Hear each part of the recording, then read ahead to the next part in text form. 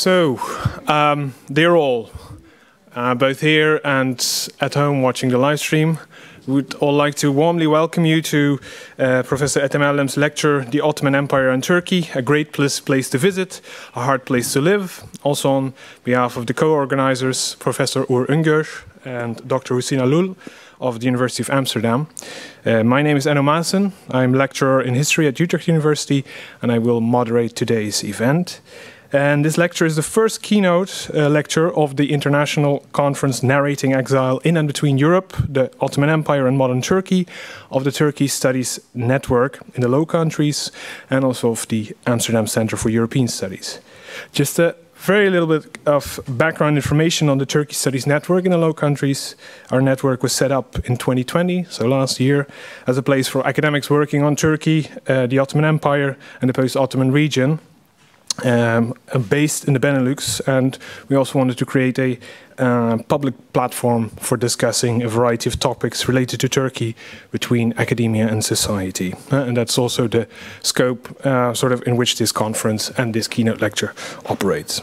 now, it is my great pleasure and privilege now to invite um, in a bit uh, Professor Edhem Eldem, who is Professor of History at Boğaziçi University in Istanbul and Professor to the International Chair in Turkish and Ottoman History at the Collège de France in Paris. Uh, in Paris. And Professor Eldem is one of the most distinguished and critical voices in the field of Ottoman and Turkish history, and he has published extensively on Levant trade, funerary, uh, epigraphy, Istanbul, the Ottoman Bank, the history of archaeology in the Ottoman lands, Ottoman first person narratives, Ottoman photography, and diplomacy. He's also one of the few voices in the field whose perspective transcends traditional chronologies, from early modern to modern history. And I therefore think that I speak for many of us when I say um, that his work has been and is a great inspiration and point of reference. He is, however, also one of the most creative and witty public speakers that I know uh, whose critical voice inter intertwines, uh, intertwines with a true mastery of irony. And to give you an example, I would like to plagiarize uh, one of your jokes, dear Edhem, um, since, as you know, in this country we have a habit of appropriating things that are not ours. So, Professor Eldem once uh, discussed how he would avoid describing himself as a historian during taxi rides, since that would always lead to considerable frustration on his part, since everyone and his uncle has an opinion on history in Turkey, but of course also elsewhere. And it shows how uh, these conversations would show how his profession as a historian is effectively being hijacked by nationalist agendas. When a specific taxi driver, for instance, learned that he was a historian, the driver asked him why Sultan Suleiman died. And of old age, Professor Eldem replied, No, he was poisoned. Poisoned, but why? Because otherwise they would not have been able to stop him. So now, when asked, Professor Eldem sometimes says he is a sociologist, which is a white lie that saves him many headaches and frustration. Today, Professor Eldem will talk to us about the peculiar process that is unfolding nowadays in Turkey, where, according to surveys, two thirds of its youth wants to leave the country, a potential outcome of a process that Professor Eldem will historicize in his lecture and contrast with another current of Turkey as a place of arrival of men and women who sought temporary or permanent residence in quote unquote Turkey for reasons ranging from curiosity and business to uh, political asylum and outright survival. Following Professor Eldem's uh, lecture, there will be room for questions, of course, also from you, from the audience. Professor Eldem, dear Edhem, thank you so much for being here, and the floor is yours. Thank you. Thank you, Enno. By the way, that's uh, what you just quoted was not a joke. It was a real, an anecdote, which doesn't mean it's a lie. But, um, okay, uh, I'll, I'll, start with um, stories of privilege and pleasure because it's a great privilege and a true pleasure to have been asked to deliver a keynote address on the occasion of this uh, conference on quote unquote narrating exile in and between Europe and the Ottoman Empire, modern Turkey. If a title is that long, you know there's a problem. Organized by the Turkey Studies Network in the Low Countries and the Amsterdam, the underworld, uh, we heard this this morning, uh, the Low Countries and the Amsterdam Center for European Studies at the University of Amsterdam. I wish to thank the organizer for this uh, invitation. Most particularly, allow me to extend my warmest thanks to the triumvirate uh, of Enno Maessen, uh, Hussein Alul behind, and Uğur Ümit uh, Üngör, whom I just saw a while ago, who have triple handedly set up the whole event from its scholarly content to its logistic details. Years ago, actually, I have to be honest, decades ago, when I lived in Tehran, in Iran, as an expat teenager and dip brat, AFRTS was the only television channel I could watch and understand. Let me spell it out for you.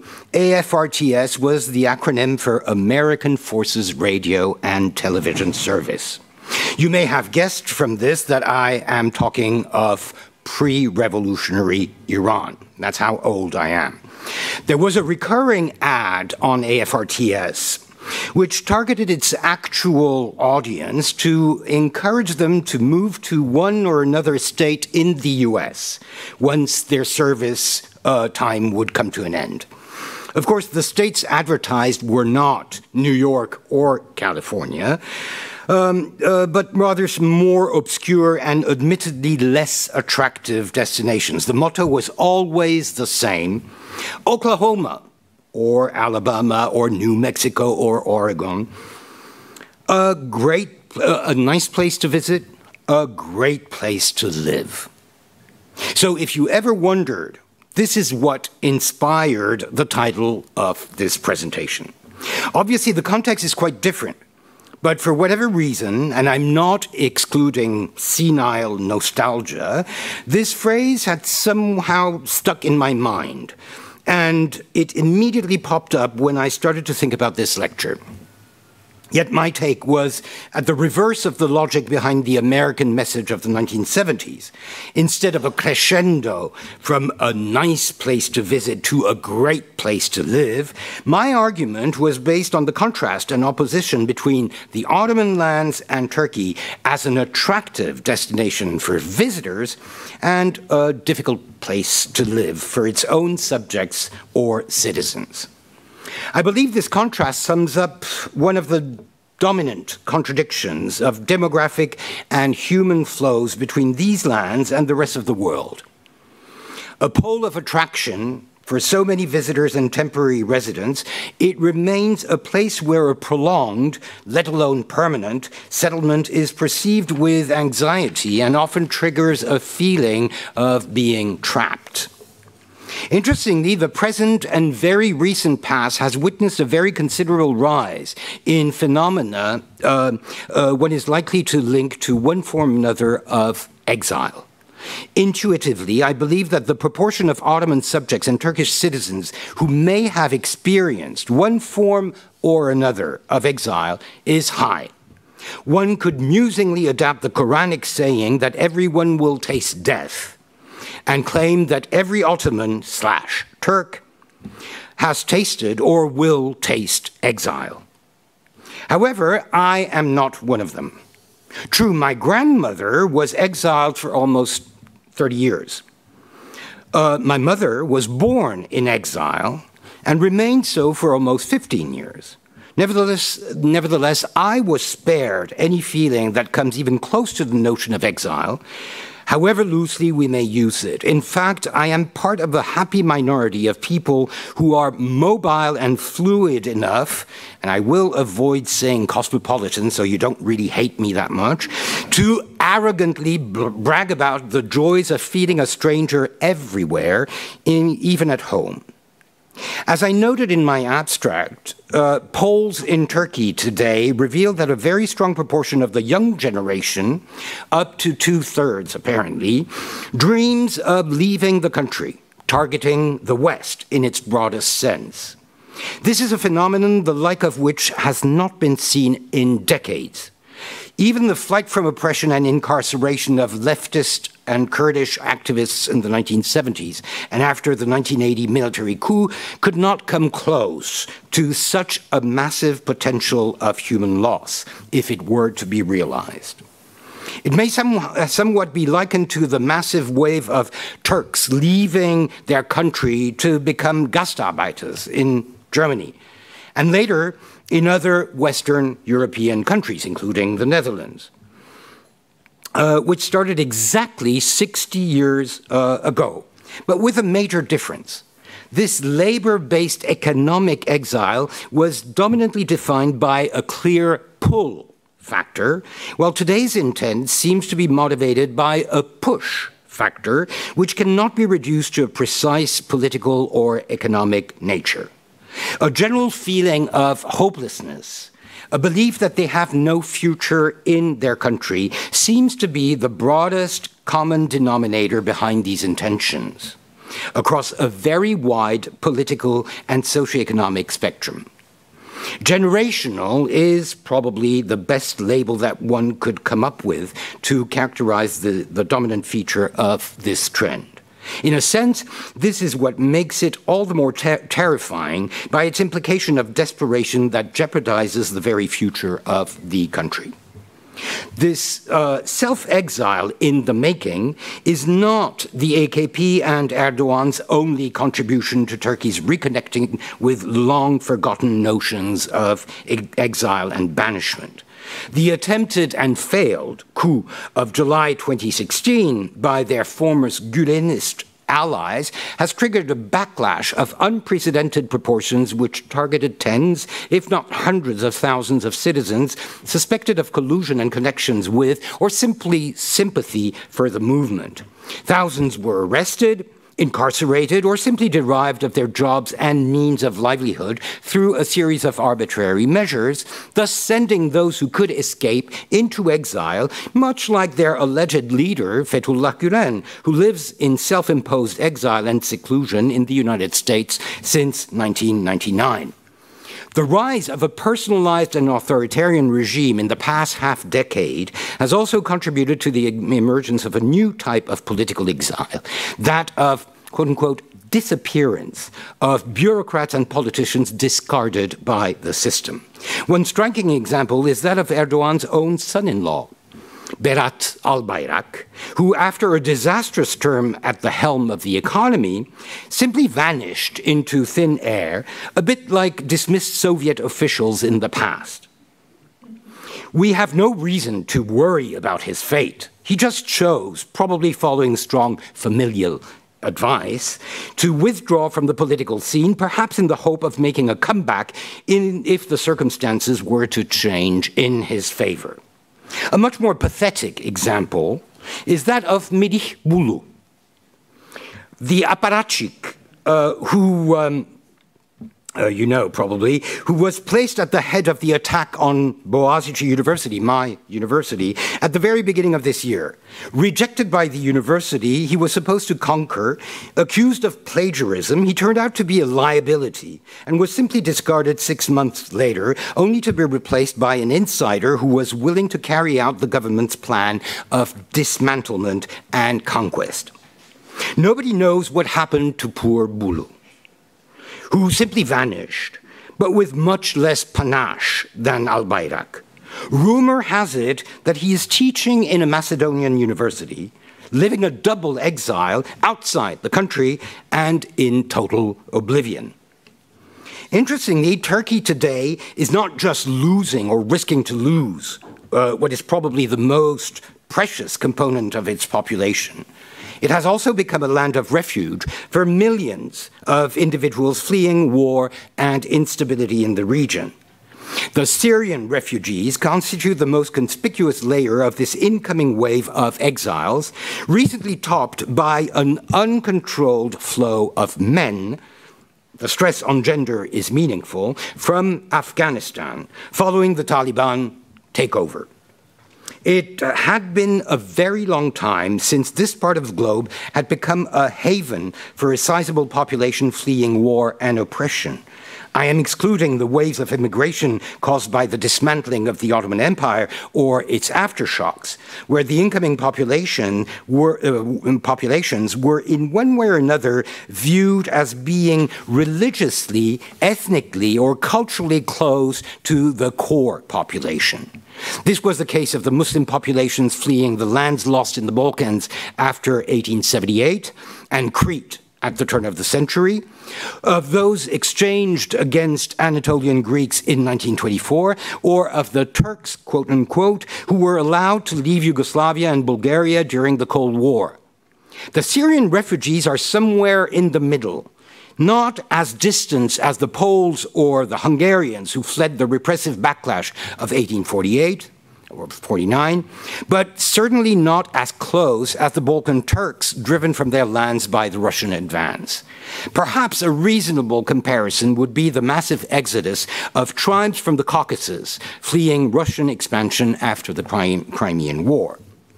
Syrian immigration has revealed all the ambiguities inherent to Turkish politics and culture with respect to incoming aliens. On the one hand, one can easily claim that Turkey has fared better than Europe particularly some member countries, in accepting huge numbers of refugees, more than half of the entire displaced population of Syria. The conditions for the settlement were far from ideal, but the natural porosity and inefficiency of the system soon compensated for that by enabling a great majority to reach the major urban centers, thus starting a process of integration, albeit of a precarious nature. True, behind the humanitarian action lie a number of rather cynical calculations, starting with the European Union's desire to use Turkey as a buffer to manage the risk of direct immigration. Turkey, on its side, has shown great enthusiasm um, um, for the financial scheme, but uh, put forward by the uh, European Union as a compensation for this role. But the government has also had no scruples about using the matter for political leverage, especially by threatening to push refugees into the European Union. The darker side of immigration could also be witnessed in society where Syrians were often exploited as underpaid labor by businesses that took advantage of their vulnerable status. More importantly, however, the severe economic recession of the past few years has triggered numerous acts and reactions of racism and exclusion across the political spectrum, revealing to what extent socioeconomic discrimination and xenophobia ran deep in Turkish society and culture, providing a disturbing sense of cohesion in an otherwise highly polarized environment. Yet I think that if we are to talk about exile to or from the Ottoman Empire and Turkey in a historical context, it seems that we are faced with two dominant and opposite trends, based on the most traditional identities one can think of religion. Muslims in, non Muslims out. The steady inflow of Muslims parallels the erosion of the empire along the long 19th century. From the Mauryan or Moreot, refugees in the 1820s to the Thracian Muslims um, a century later. Hundreds of thousands of Muslims took refuge from the lost provinces of the empire, mostly in Anatolia, with particularly dramatic peaks after the defeats of 1878 and 1913. To these, one should add those populations which, although not formally subjected to Ottoman rule, chose to migrate to the Ottoman lands due to the annexation of their lands by rival powers, especially Russia, such as the Crimean Tatars in the 1780s or the tribes of the Caucasus in the 1860s. The Republic inherited a much smaller scale version of this phenomenon when some remaining groups of Balkan Muslims chose to migrate from communist ruled Albania, Yugoslavia, and, uh, or Bulgaria to Turkey. The chronology of the migration of non Muslim populations from the empire overlaps to a large extent with the influx of Muslims uh, I have just uh, described. Of course, one could always go back to the earliest centuries of the empire and talk, for example, of the Greek exodus from Constantinople after its fall, which Republican historiography, I love that, uh, pointing at Byzantine scholars taking refuge in Italy, went so far as presenting this as the Turkish contribution to the Renaissance. The existence throughout the early modern period of Greek communities uh, in Rome, Venice, Vienna, Marseille, or Amsterdam attests to a flow, or rather a trickling, of Orthodox subjects from the empire to certain parts of Europe. The same could be said of Armenians, whose trading networks extending from India to Europe were particularly conducive to migration, as was the oppression faced by the Armenian Catholics who took refuge in Venice and in Vienna in the 18th century. Nevertheless, it was in the 19th century, particularly in its second half, that the movement took on truly massive proportions. The repression of the Greek insurrection resulted in minor flights, such as those of some families from Chios, and similar examples can be found during the following decades. But it's really during the Hamidian period, in the 1890s and 1900s, that massive movements were witnessed among two major groups Armenians and Christian Arabs fleeing disastrous economic conditions, and in the case of the, of the former, the Armenians, outright persecution and massacres. As in the case of Muslim immigration, the Republic inherited to a large extent this pattern, targeting non Muslim populations which did not fit in the state's uh, and the majority's vision of the Turkish nation. Together with Greece, it organized, and we heard about it just a minute ago, it organized the first population exchange, which set a precedent for many tragedies that were to follow throughout uh, uh, the world.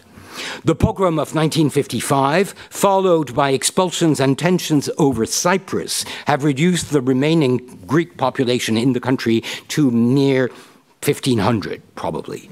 Jews, targeted by a wealth tax in 1942, left en masse after the creation of the State of Israel in 1948. The community stands today at a mere 15,000. A century after its demise, practically nothing of the Ottoman Empire's religious diversity remains in Turkey today. This is all the more ironic when one considers that the country which prides itself with being the only secular state in the Middle East is at the same time the most homogeneously Muslim country uh, in the region. Of course, one will always find exceptions to the rule, starting with the settlement of Iberian and later Italian Jews in the Ottoman lands after the Spanish Reconquista, or the settlement of European Jews in Palestine at the turn of the 20th century. One could also mention Charles XII um, of Sweden, uh, Comte de, de Bonneval, or more famously, the influx of post 1848 refugees from the Habsburg and Russian lands provided we remember that most of them never intended to settle but had sought an asylum until they could reach a safe heaven, uh, haven uh, in Western Europe, like Lajos Kossuth and his companions. And then, of course, there are all those renegades, converts, engineers, officers, artists, scholars, like the German Jewish scientists in the early 1930s, who, for one reason or another, ended up in the Ottoman lands or Turkey for relatively long periods of time, sometimes for the rest of their lives. In the other direction, um, sorry. Oh, okay. Um, um, I'm sorry, I'm, i lost my, my line. Uh, da, da, da, yeah. In the other direction, Muslims leaving or fleeing their land to settle abroad may be rare, but they exist. Mehmet II's uh, son, Jem, half exile, half hostage, dragged around Europe and the Mediterranean, is an obvious early example that comes to mind. Much later, young Ottomans and young Turks, from Namık Kemal to Prince Sabahattin and from Ali Suavi to Ahmed Reza, can constitute a small but consistent sample of political exiles who broke the dominant pattern to seek refuge in uh, Western uh, capitals. And then, of course, there were the 145 statesmen exiled to Malta in 1919 and 1920, and the 155 members of the Ottoman dynasty, and the 150 collaborators of the Ancien Regime who were exiled in 1924. Yet on both sides, these cases are consistent with what I said earlier namely that they constitute exceptions to the general rule of Muslims in, non Muslims out. It is only in the last decades that this rule may have been slightly altered, not by a sudden rush of non Muslims to Turkey, but by significant departures of Turks from their homeland, especially as economic migrants. Of course, there is still uh, there still is a major, major dimension of the question that is missing, that of internal exile. In fact, I would even claim that this is probably the most dramatic aspect of the question, and one that is almost inherent to the Ottoman Empire and to a certain extent to Turkey. Indeed, right from the very start, exile, deportation, banishment, re uh, relegation, relocation have been at the core of the Ottoman state's policy regarding subject populations. We know how deportations known as sürgün were used to drain certain regions of unwanted elements, but most of all to repopulate others as in the famous case of Constantinople after the conquest. We also know that recruitment for the army and bureaucracy relied greatly on the extraction of children from conquered populations through a system that was called devşirme, or literally collection. The slave trade fed an incessant flow of men and women who were uprooted from their homeland in Africa or in the Caucasus to end up in the imperial palace and in the mansions and homes of individuals who could afford this commodity. Banishment, perhaps the form of exile that comes closest to the original Roman notion of exilium, was uh, practiced on a regular basis as a punishment for individuals who were accused of wrongdoings but whose crime fell short of deserving uh, execution, or simply as a form of retirement for certain high ranking officials.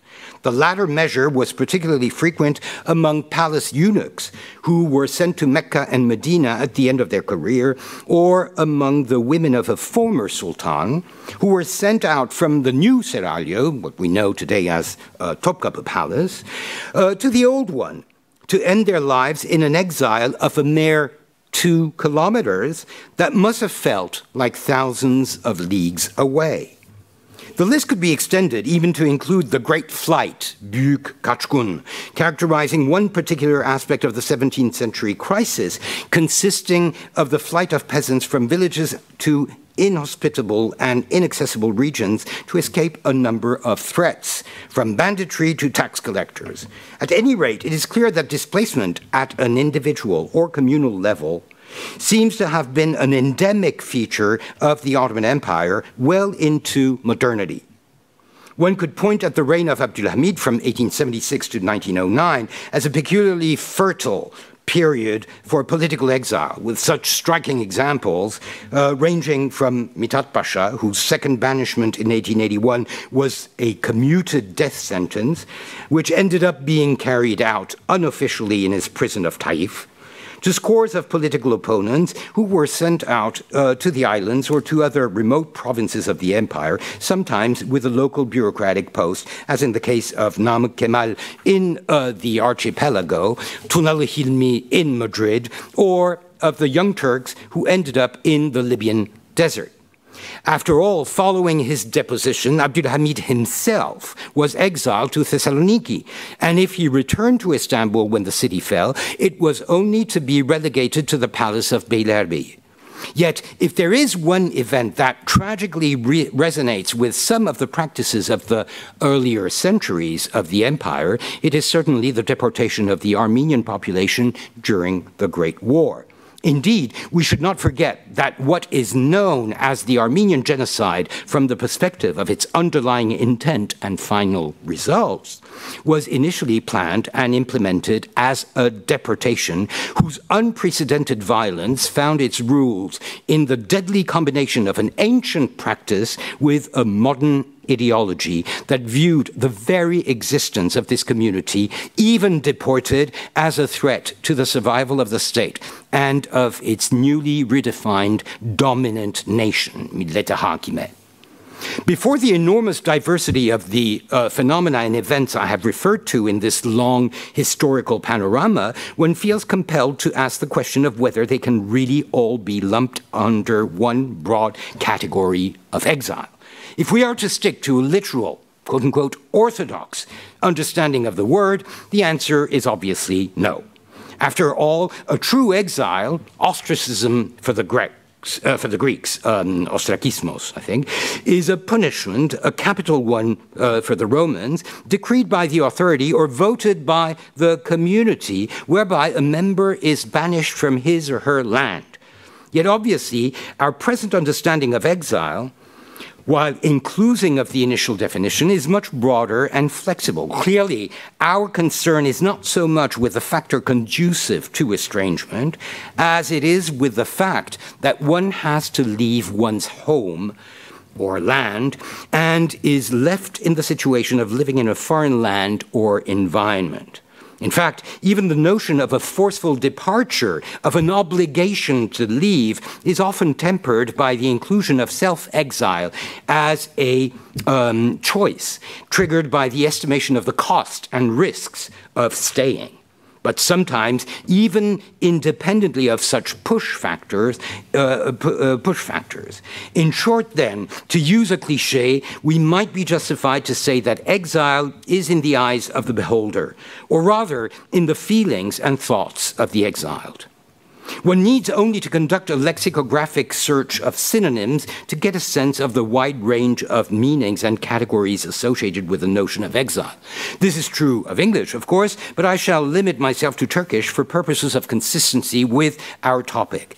Only one of these numerous words is really Turkish.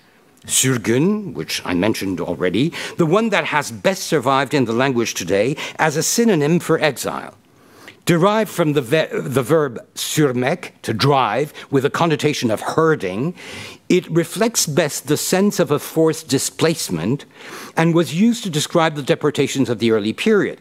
The rest of the vocabulary is of Arabic origin, and some words such as istifaz, sebr, or ijla are oddities that, are, that one rarely sees outside of dictionaries. This leaves us with two major lexical groups one derived from nefy, to banish, and the other from hijr, to leave. An essential difference between the two is obvious. Nefy and its derivatives, menfi, an exiled person, menfa, a place of, uh, of exile, denote the punitive nature of the act and was commonly used in the 19th century to describe state ordered political uh, exile.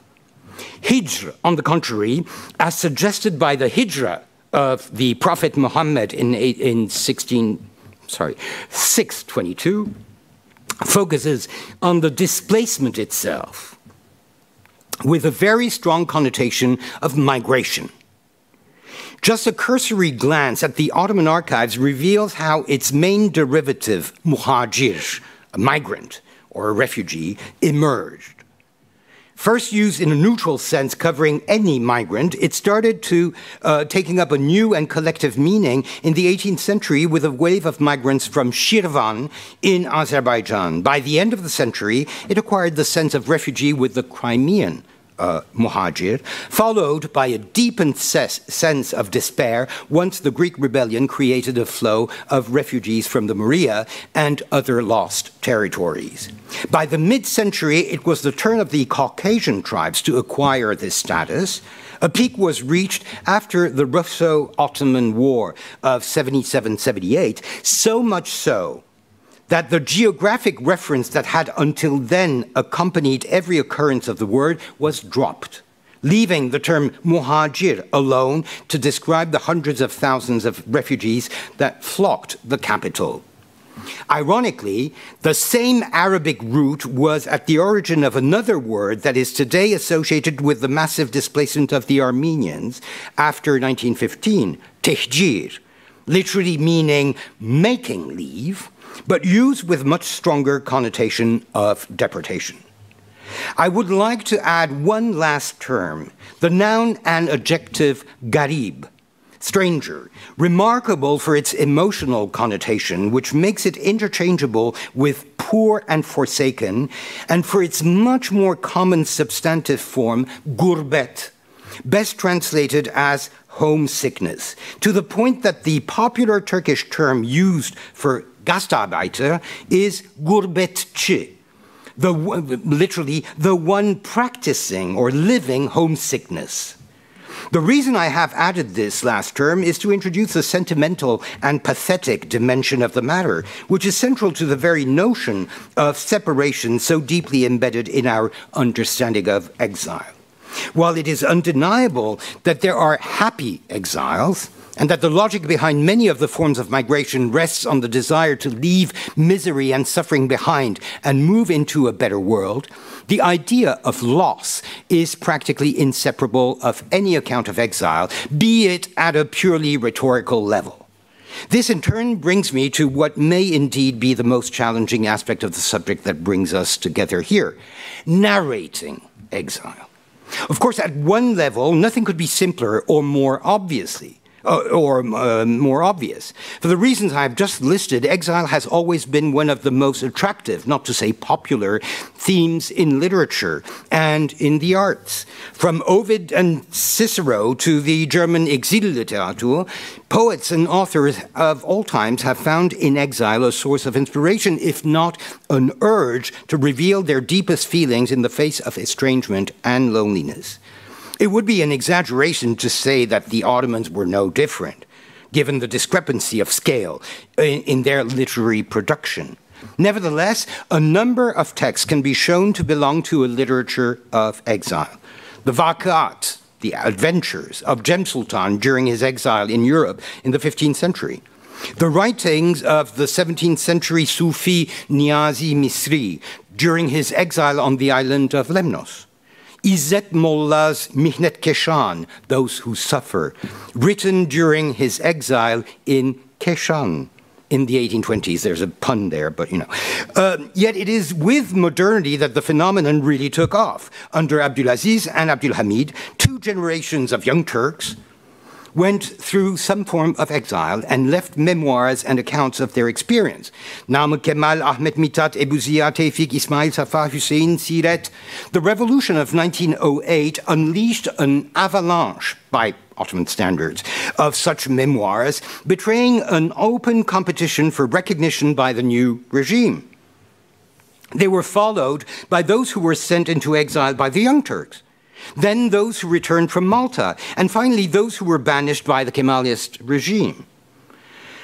Uh, some were lucky enough to experience exile under two consecutive uh, regimes. The Refik Halit Karay, and I think Christine Philliou is going to talk about him tomorrow, was exiled to Anatolia by the Young Turks in 1913 and returned when they were expelled in 1918, but then paid the price of opposing the Kemalist movement by exiling himself to Syria and Lebanon, where he stayed until 1938.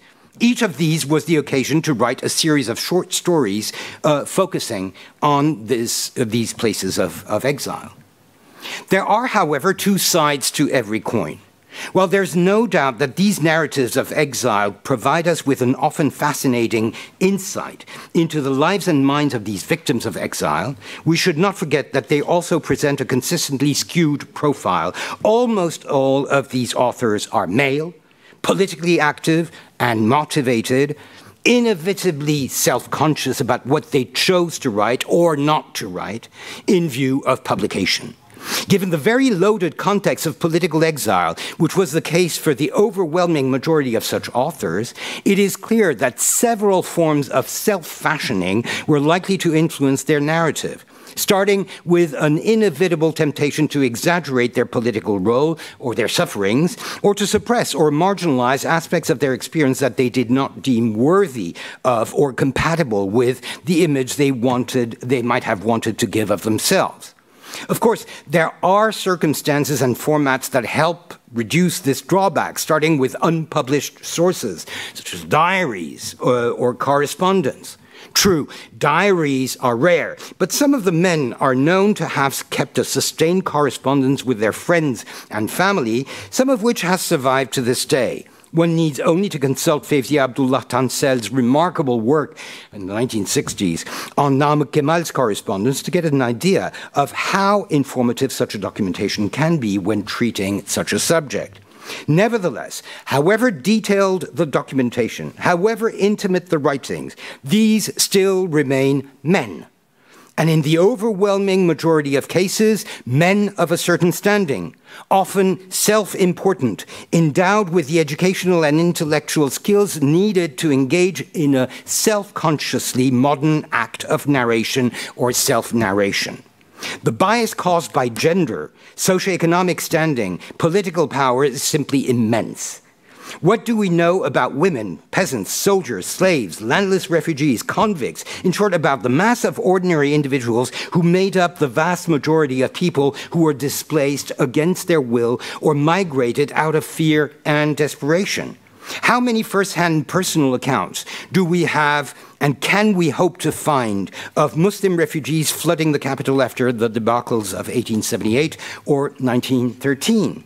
How many women um, uh, how many women who were dragged into exile as wives or as daughters or as slaves were able to tell their story in a way that left a trace for posterity. It is undeniable that there is a strong correlation between the socioeconomic standing of individuals and their likelihood or ability to narrate their life story, for better or for worse. Can one not widen this observation to cover even the orally transmitted memory of past events? It has always struck me to what extent memories of a lost homeland acquire different levels of detail and precision between the descendants of Greeks who left their home in Anatolia to settle in Greece and those of Turks, or rather Muslims, who were forced to make the opposite journey from the Balkans to Anatolia. The former generally cherish the memory of their ancestral home down to the village, the street, and the house where their grand or great grandparents had lived. The latter, the Turks, as far as I've seen, can rarely go beyond the name of a province, a nearby city, or even just the vaguest reference to Rumeli, Rumelia. I think it is significant that the exceptions on the Turkish side generally have to do with those areas, such as Crete or Yanina, where the Muslim population enjoyed a wealthier status, generally due to land ownership. If we apply all these observations to the question of exile and its narratives, it becomes clear that it is practically impossible to retrieve the voices, as we like to say, of most of the individuals concerned, unless they belong to a privileged minority possessing the material and intellectual means and motivation to leave a written trace of their ordeal or if their plight ends up finding a strong moral and political mediation, as may have been the case with the survivors of the Armenian genocide or the Greek refugees from Anatolia, in ways that were never made available to Muslim refugees in 78, 1913, or 1924. Of course, one cannot dismiss all hopes of finding alternative sources or alternative ways of filling the gaps of our documentation. After all, let us not forget that feelings of exile end up popping up in all sorts of sources, especially anonymous and popular ones. Everyone in Turkey knows the Song of Yemen, Yemen Türküsü, a lament that speaks of the sorrow and sufferings of conscript, uh, posted uh, in this God-forsaken uh, province of the empire. If anything, this is a meaningful reminder that military service, when it involves such distances and such long periods, amounted pretty much to an exile from which one lost hope of ever returning. Those who leave never return. I wonder why, says the famous song. I would like to conclude, however, with a personal take on the question of alternative and somewhat unexpected sources of exile by referring to my ongoing research on the memoirs and diaries of an Ottoman prince, Selahattin Effendi, the son of Sultan Murad V, who was deposed on grounds of insanity in 1876 and was then replaced on the throne by Abdulhamid. The deposed sultan and his entire household, about a hundred persons, um, almost all women, were kept under custody in the palaces of Çırağan and Feriye for almost 30 years until Murad's death in 1904. This captivity amounted to an exile and a form of social death which apparently triggered in young Selahattin, the prince, uh, he was 16 at the beginning of their cap captivity, the urge to do something extraordinary by Ottoman standards, that is, to keep a diary, to write his memoirs, and to collect personal and family mementos in scrapbooks thus creating a set of ego documents of unprecedented and still unequaled wealth and originality. Understandably, the young prince's writings are strongly imbued with feelings of frustration and despair. And if it does not come to his mind to call this an exile, it is probably because the theme of being subjected to injustice, mazlumiyet, conveyed much more powerfully the image he wanted to, uh, uh, wanted to give of their treatment at the hands of a tyrant Zalim, but also because true exile was already a subpart of their ordeal when many of their slaves and servants were actually banished immediately after the, uh, their, their de deposition. Not the least interesting is the fact that on at least two occasions in his diary, the sight of the imperial yachts, Izzeddin and Fuat, in the Bosphorus, made him comment that I'm kind of interpreting, there was exile in the air. A reminder of how visible the frequent banishments that were carried out to distant provinces of the empire were to the population. Yet the truly striking discovery I made while studying these documents was the way they revealed some aspects of one of the least known form of uprooting and exile still in practice at the time, that of female slavery. With the exception of himself and his son, Selahattin, the fallen sultan's household consisted almost exclusively of women and of half a dozen eunuchs. All these women, with the exception of Murad's and Selahattin's daughters, were of slave origin. Some of high standing, such as Murad's mother, or his and Selahattin's wives, while the others constituted the workforce of the palace. Selahattin's writings were predictably insistently focused on himself and on his father, but they inevitably contained a mass of information on some of these women. Much of this is difficult to use or even to comprehend, given the degree of intimate knowledge that would be necessary to penetrate the logic of such a complex and hierarchized structure. Nevertheless, some are clear enough to allow for a straightforward analysis of their contents. I have selected two passages, both concerning Selahattin Effendi's wives, which, to my opinion, shed light on the harsh realities of the life and career of a slave woman in an Ottoman palace. In one of these, he gives a short vita, like an obituary, of Dilaviz Hanım, who had just died of tuberculosis. I'm quoting. She said her origins were Georgian or Laz. She was taken in before the age of two by a well to do family from Batumi, among whom she grew up in Istanbul. She recalled having been in Albania, in Syria, and in Batumi. Toward the end of 1874, she came to Istanbul with her mistress and was sold to Mahmud Pasha. Seniha Sultan's husband. At our accession in 1876, she was given to the palace along with eight other fellow slaves and fell to my lot by chance. That's a career. Another passage consisted of the transcription of a letter he had sent to the parents of another of his wives, apparently to try to reassure her, his wife, as to their well being. Again, I'm quoting. You will surely not have forgotten the name of Gulshen or Zategul. These ors are extremely important because the identities change. A member of your family.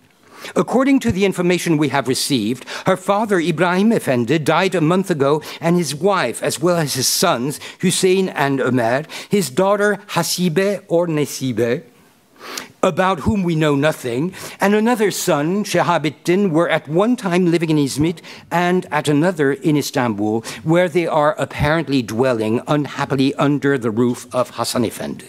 Who that is, I don't know. It would seem that the poor mother is distressed because she misses her daughter. Tell her not to worry and to be patient. Her daughter is alive.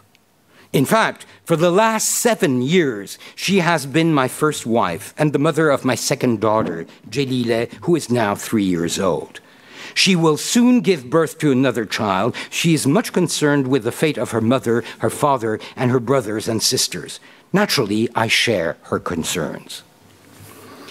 I believe that both these texts give a fleeting but very poignant uh, sense of the tragedies that lie behind each of these fragmented and scattered lives handed over from one household to another, following their masters throughout the empire, cut off from any kind of contact with their family, their livelihood and fate depended on the will of men who could not be bothered with the details of their past life and of their true identity.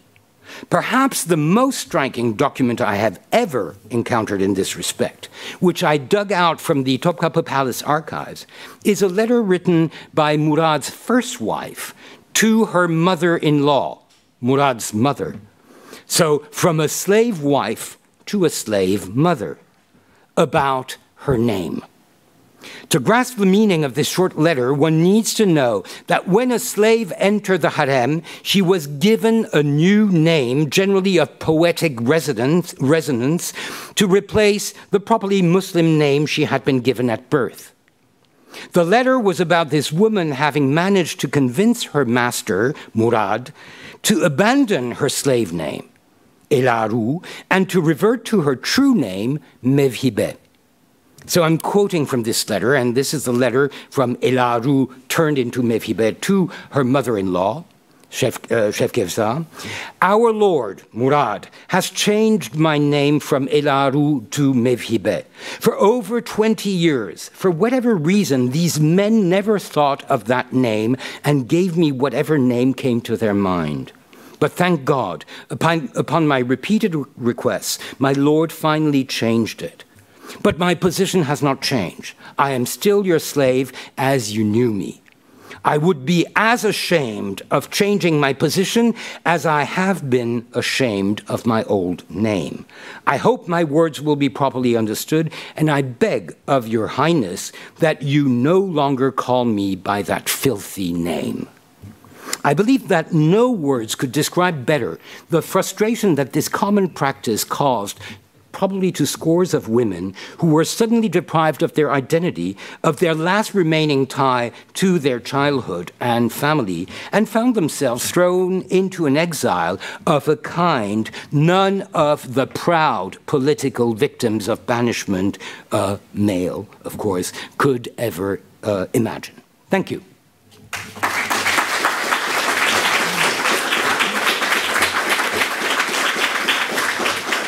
Well, thank you so much, uh, Professor Eldem Diatem, for this wonderful talk that, in fact, brings so many of the uh, points uh, of the conference together. Um, I will make it uh, keep it very short because I think there will be many questions actually from the audience.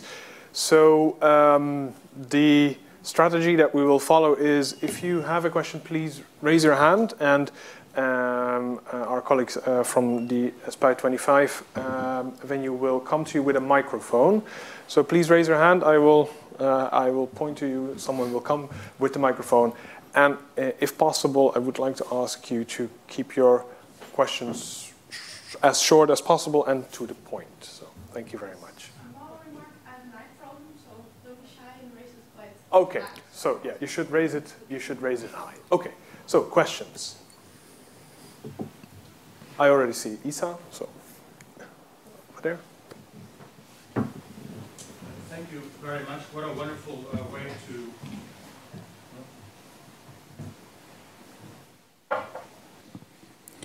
Uh, thank you very much. What a wonderful way to um, emphasize the significance and con continuous importance of these themes that extend back hundreds of years and will continue on um, tomorrow in our newspapers.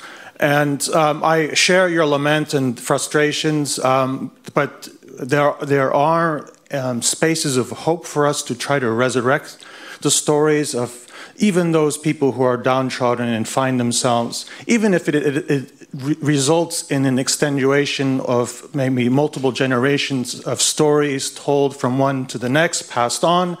But in the case of Anatolia and Turkey, many of those who came from the Balkans have indeed shared um, to descendants the stories. And they have, of course, been somewhat tainted by, um, by time. But I know for a fact that amongst Albanian and Bosniak um, um, migrant families, um, there have been attempts at various points in time to resurrect the stories of one or both of the kind of um, members of families who did originally originated from the Balkans. And there have been, um, over the last 10, 20 years, attempts to encourage this resurrection of stories that for long periods of time were, of course, suppressed. One very interesting point that maybe those of you who are leading students for potential projects of this kind, one of my students in, I was in exile in Atlanta for a long time, actually looked at websites, Facebook uh, chat groups of, of peoples who know of their origins and looking for stories to resurrect using pictures, using family uh, letters from grandmother before she dies. These kinds of things can be very rich and, and, and interesting for those of us who want to try to resurrect these stories granted from mostly of the 20th century, but perhaps even earlier. Lastly, uh, your incredible list, very, very uh, thorough. We do need to remember, however, the important impact of those economic refugees, hundreds of thousands who ended up in Latin America, in North American cities, in Southeast Asia, who have enormous contributions to make to the 20th century stories, building the cities of the Americas, and they'd have a very interesting imprint on Ottoman, the Ottoman story and the Turkish story as well, if we maybe geographically think more broadly than what Anatolia constitutes today as the Turkish story. So thank you very much, but uh, not all is lost. Uh, I think we have plenty of space to discover these stories of exile uh, from many parts of the world. Thank you very much again. Well, thank you. I mean, an excellent question, as they always say, uh, but it, wasn't really a question, and you're right. Uh, I've I've ventured into a domain which is not mine, which is that of talking about the living. I'm, I'm very happy with the dead. Uh, I don't like the living, uh, but uh, my observation is very intuitive, and I think I said that. I think there is a correlation between the level of wealth and possession at departure uh, and the capacity to transmit the memories, a concrete memory of what is lost. And my impression is that the bulk of the quote unquote Turkish refugees from the Balkans belong to a lower status than the Greeks who came, who were more urban uh, or semi urban uh, or maybe wealthier. Uh, and uh, and I see that, for example, the Cretans, the Cretan Muslims, are uh, somehow different. But then again, it's intuitive. Uh, I'm, I'm not really insisting on, on this, but it, it seems to be um, the, the, the case. Is uh, what, and of course, there's something else which I tried to mention the fact that memory has to be mediated by some kind either of a moral force or of a scholarly force. I mean, uh, what the um, the Institute for Anatolian Studies in Athens has done ever since the 1930s is incredible. I mean, this is something, when I listen to Artemis uh, Papatheodorou's uh, talk, I wonder to what extent, because you have Greeks looking at ruins in the 1890s already. I mean, uh, but it seems that after 1922, it triggers and there is probably the, the exile itself, and then the, the expectation from the receiving on the uh, receiving end that uh, forces people to think more about their heritage and whatever. So it's such a complex equation uh, that you know that's why I, I, like mine dead and buried prefer preferably, and uh, I like to work on paper uh, rather than voices. But you know that's. There's a question in the back, I think. Yes. Um... So a question over there in the back, yeah, and then one more over here. Uh, thank you. Thank you for the wonderful talk. Um, and I have a, a, question which uh, really connects to the previous one. Um, I happen to know some Greek friends on Facebook who really, they're very nationalist and they think of, sometimes they think of regaining, let's call it that way, uh, Byzantium and even Izmir. So maybe that's why some of the, uh, let's say, um, urbanized Greek still have this right about uh, Turkey as if it's still theirs and will be theirs back in the future, almost restoring the Byzantine Empire. I, I know because I talk to people who think think like this. So maybe that's the difference. And, and while in Turkey, maybe it might let be. Let them try. Let them try. No, but I mean, yeah. more seriously, what is more pathetic? Yeah, it's Greeks, pathetic. Yes. Greeks dreaming of reconquering Anatolia, yeah. or Turks dreaming of reconquering Istanbul. But maybe, yeah, okay. But maybe in Turkey, the idea of regaining the Balkans have been giving up. So that's why it's not an interesting, not much a topic uh, among the writers. I, am not, I'm not sure, but that's why I ask you. Yeah. No, uh, uh, that's why I insisted on Istanbul. I mean, the big deal in Istanbul is to commemorate constantly a city that we, the nation, uh, whatever continuity there might be, has conquered six centuries ago or five centuries ago. That is even sicker than uh, the Greek dreams. I mean, so when you start talking about these popular uh, things, and of course, there too it's in direct relation with what politicians are doing. I mean, when Turkey is uh, engaging in some kind of an adventure in the eastern Mediterranean basin or in Libya, the political elite will start showering you with uh, themes of, uh, of revenge for the loss of Tripolitania or what. So it's it's and and and for a historian, it, it at some point until I became a sociologist, it was interesting. And now I'm sick and tired of this because it, it is really very disturbing.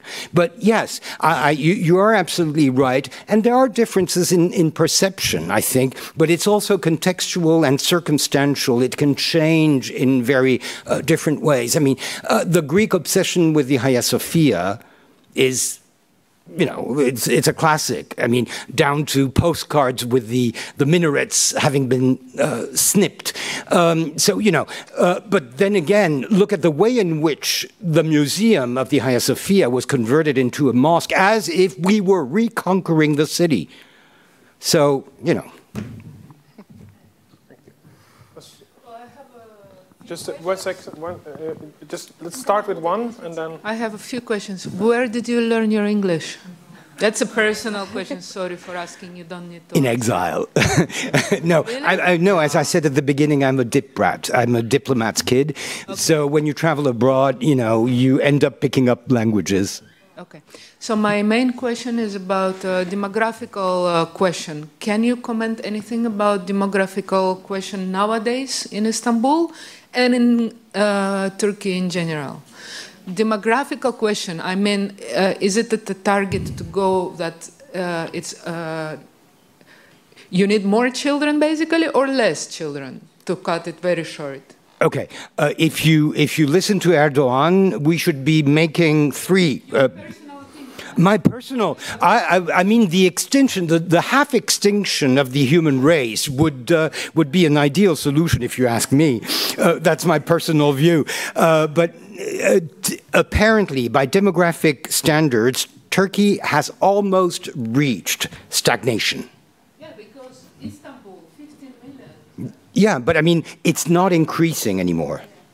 No, it has reached. I'm not a demographer, but you know, uh, but it apparently those people who know demography uh, tell us that there is an a, an aging of the Turkish population. So we are slowly coming to where Europe is that is losing the. If on top of that, uh, two thirds of our youth decides to emigrate, uh, that's going to be a catastrophe. I mean, uh, obviously, I, I, think that I'm, I'm, not a natalist at all. On the contrary, but I think that what what really is important is the quality and the balance of the population you're you're left with, and losing the young population, and it's not just any young population. You're talking about educated or people in. It's it's a disaster. Uh, it could be a disaster. The good thing, well, the, the good thing is that it's not easy to leave Turkey or to enter the places where you want to go. Yeah. Just yesterday. Just sorry, don't. Uh, Uh, so following question. Just yesterday, I was talking occasionally with a Turkish businessman here in the Netherlands, living based uh, and trading all over the world spices. And uh, he mentioned uh, his personal opinion that uh, Turkey is the cheapest country to uh, sort of to eat, uh, to go out, uh, to drink a cup of coffee, the cheapest. If you earn your money in Europe, yes. It's not for Turks anymore. But is it still such an economical level uh, for uh, daily life is very low, eh? Yes, I mean, it's cheap by, I mean, the euro, which uh, two years ago was at five or six, is now at 12. Yeah, but lira also changed, eh? from millions went to... Yeah, yeah, but I mean, that's just zeros. I mean, it's just, it's cosmetic. Uh, but there was a, st a, stabilization of the Turkish lira. The Turkish lira, when uh, when the um, uh, in in 2000 and something, when they dropped the zeros, there was almost some kind of a parity between the lira and the dollar, and now the dollar is at 10. So. Okay, there was another question in the back.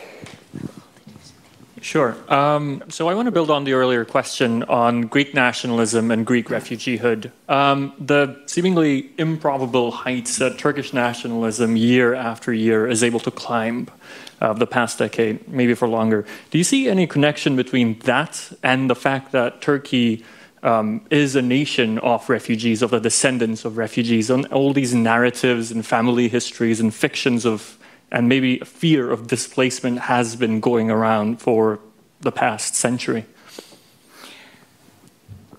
It is possible. I mean, you're being kind. You're, you're trying to find some kind of an excuse for xenophobia, for racism. Uh, and it is true that descendants, I mean, you said it, uh, right? Uh, no, who said it? Uh, during uh, the last session, it was said, and it's true, that people who have been displaced become displacers. Right, uh, it, it's it's a well known uh, it's a well known phenomenon, but then again, I don't think you can explain, um, especially today, uh, the attitude of the Turkish majority regarding others only through that. I mean, yes, I think that in the 1920s, 1930s, Kemalism was made by people who were displaced during the war, during the defeats, and therefore, yes, there's a there's a taste of that in the way in which, but I don't think you can uh, still explain it uh, through uh, only uh, that kind of an atavistic uh, uh, reaction. But then again, it's sociology, you know. There's another question here from Darina. Yeah. Thank you. I would like to ask you to, to think about remembering and forgetting of past because I know it's complicated and it's complicated when we talk about Turkey, a country that, that has been insisting on forgetting that some people should forget what happened and me living in a, and working in a country where the winners of a civil war also insist that we should forget that and move and whoever wants to think about past should st sort of is, uh, should stop thinking about it and but at the same time there is also this fetishization of memory and which is connected to nationalism which is connected to exclusion which is connected to always justifying policy through references to the past who was here first who who came later. And uh, this is this can also blow so how do you think like uh, this is not yeah like how to manage the remembering and how to manage the forgetting? What is your opinion about that? I mean remembering and forgetting at an individual or communal level is a very complex uh, process. But what makes it but that makes it interesting right? I mean for students of history uh, or of sociology. Uh, but the problem is when this is instrumentalized by, say, political manipulation. So, my ideally, I would say that history shouldn't be taught in Turkey. You know, I mean, uh, my, my idea is that what makes the beauty of history is that it may not be of use. Like caviar, you know, it's a luxury. It can be useful for certain things. It's an intellectual, artistic, literary curiosity. It's, it's about curiosity. It's about asking questions, not finding answers. Whereas the way politicians look at history, it's always for, you know, finding answers. And the answers, there's no surprise, are their concerns, their ideological or political uh, goals. So as long as you cannot separate the political from the memorial, the memorial, uh, we're in deep trouble, right? So I don't find, because otherwise, I, I, don't have a problem with the fact that memory can be complicated, conflicting, or invented. That, that's not the problem. Even, you know, the mythology of, say, the invention of the Hittites as the ancestors of the Turks, it, it is interesting today because at least it's not part of the ideological discourse. So it's been neutralized on that side. You, can study it as a curiosity and look at the dynamics behind it. But for communities and individuals about their own past, it is so biased and so, uh, you know, I mean, we talked so much about slaves. Uh, and by the way, uh, what you said about the Circassians inventing their nobility, that's not true. They do have a nobility. They have, and that's what makes it interesting because the problem is not that they don't, it's that the men who are buying them, integrating them into the, the harem, have absolutely no interest in whatever social structure they come from. But they, in the harem, are using the hierarchies of the Adyghes and the Ubykh and whatever to establish the hierarchy uh, in, in, the, in the harem. And that is one of the major problems because we have no access to that other than oral sources, and most of the oral sources are dead. So we're left with very vague notions of, of the, so that's one problem of remembering. And of course, then you have the second level, which is total invention. I mean, it's uh, fascinating how in Turkey, any woman who's interviewed on TV and wants to brag about her beauty will say, Oh, I'm either from Romania or from Circassia. It becomes suddenly very chic. Why? Because it is racially positive and positive through the sexualization of slavery in, in the 19th century. And that is not at all a problem for them, but they would never say, oh, I come from the Yemen or from uh, Syria, or whatever. It's a very white vision of blonde, blue eyes. It's, it's incredible. That, that's why, if you look at all the fantasies that are created around Atatürk and his identity, it's all based on his being blonde, blue eyed, and whatever. He's, he's white. He's white, he's European, he's civilized. And that's exactly what his opponents are using to say that he is a Dönme, he is a whatever. You know, it's, so all these constructs are horribly vitiated and, and uh, contaminated by so much ideology that it's very difficult to get to the roots of what really is being remembered because most of it is not remembered but invented. But again, you know. Okay, there's one more question here from Uğur. Thank you so much for your great presentation. Um, you made an interesting point, I made interesting points, but one about the lexicon of the word exile, um, when you talked about Arabic words and Turkish words, sürgün, which brought to my mind actually the relationship between um, death, which you are also interested in as a subject, and migration. If you think about, for instance, irtihal, uh, the word to mean uh, to die, but related to the, I mean, the root is about a journey. Right, right. yes. And we, if you think about the Arabic word, right? And if you think about the modern Turkish word göçmek, it could mean just to migrate, but to die as well. So I'm wondering what this close relationship between death and migration um, tells us. And related to this, um, you also referred to something, some kind of a difference between the way exile or being displaced is imagined by Greeks and Turks, especially the population exchange, how Greeks know very intimately about the lands they hailed from. On the other hand, Turks, not really. Um, which also brings to my mind, maybe it's a little bit of a stretch, but maybe not. Um, so, um, if we think about the relationship between death and migration, uh, when you migrate and when you die, you go to the eternal life, right? So it could be heaven, it could be hell.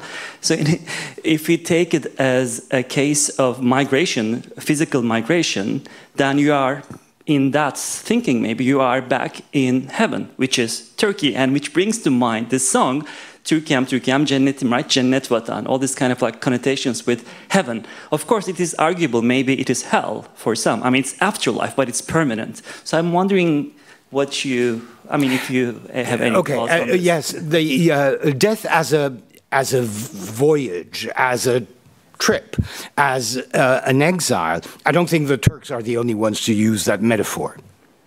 You know, it's all over the place. I think it's part and parcel of human understanding or not understanding death. And therefore, you always have some kind of a translation of the body or the soul into another world.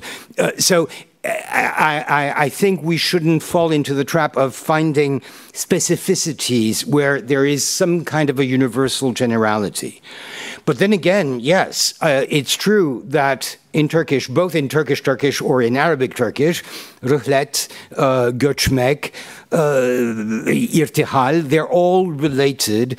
And you talk about dar beka, so it's the place, the abode of so there's a like a physical and this is you know part and parcel of the eschatology of of islam as far as i, I know uh, so I, I think it's kind of normal but I wouldn't, I, I mean, it's, I like words and I like playing with words. I like trying to see how words evolve in time and but I'm also very cautious of coming to conclusions about uh, what they may really mean because it doesn't necessarily work as we would like it to, to work as a philologist or a historian slash philologist. So while, yes, I, I agree that there is something interesting there, um, I would be wary of, of shortcuts. Um, not to say that you are, but you know, your proposition is interesting. And again, this is my, my, my theory of history. It's not about answers, it's about questions. So your question is absolutely legitimate, and I'd love to develop that question as long as I don't have to give an answer. Seriously, I mean, yeah. Okay, we have room for one final question. I already saw Roy, so please go ahead. Um, uh, one question, if I may. Uh, can you tell us what happened? Uh, can you move the mic away so it won't uh, chatter? Uh, what happened to the million and a half uh, Circassians um, and Bosniaks who came and settled in what came to be modern Turkey? What is their social status? Have they been assimilated into the Turk military, or do they still stand as a recognized social group? Yes, pretty much. Now, first of all, they didn't all settle in Anatolia. There's quite a number who settled in places like Jordan, you know, uh, in Syria, in Iraq, uh, the Chechens, for example, in the 1860s and whatever. So it's not just Turkey as we have it today.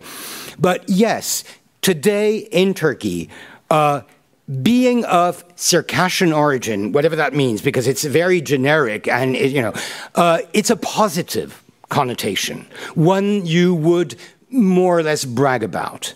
But then again, there are more, uh, let's say, focused groups who are really interested in the culture, uh, not just you know calling oneself a, a Circassian, and even some people who talk about the Circassian genocide committed by the Ottomans and especially by the Turkish Republic uh, because of the uh, the dissensions among the, uh, the, the fighting groups during the War of Independence. So, depending on where you stand in that wide spectrum, you have probably a majority of people who claim to be of Circassian descent out of the blue, maybe, or with very little evidence, and who are very happy with that because it gives them a positive kind of uh, um, racial connotation. And then at the other edge, you might have people who will uh, have a political claim about the rights of the Circassians, which have not been respected by the Republic and therefore see this as a legitimate political uh, fight. Again, this is really, and I'm not saying it with it's sociology. I mean, I, I, I, I'm really not aware of the numbers of the proportions of it, but yeah, uh, that's it. But otherwise, the Circassian immigration into Anatolia had one major target, which is that of continuing to provide the palace with slaves, with slave women. So, and what is interesting, and this is something that was uh, part of my presentation, these women are Muslims. I mean, you can question the degree of orthodoxy or whatever, but you're talking about the enslavement of Muslims, which by Quranic, Islamic, whatever standards is a no no. So the story of Mevhibe, who becomes Elaru and returns to Mevhibe, it's very interesting from the perspective of slavery, understanding the dynamics and the frustrations of, of losing her identity. But it's also a revelation that this woman was a Muslim at the beginning, and she was enslaved as well, she wasn't enslaved, she was processed as a slave by a culture an immigration for whom slavery, especially at an imperial level, was a very decent option of social promotion. Uh, at least for the uh, for the uh, for the others, uh, the woman went to the the palace, and you know. Thank you so much, uh, Edhem, for this uh, wonderful talk.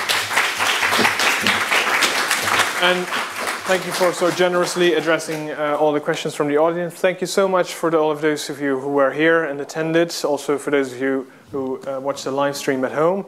Um, we have another keynote uh, tomorrow, which uh, will be uh, also screened um, online. If you'd like to follow that one as well by Christine Philliou of the University of Berkeley, UC uh, Berkeley, then please visit www.turkeystudies um, network.org. There you will find all the information.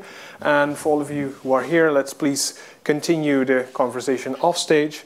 And uh, thank you once again. Thank you. Thank you. Thank you.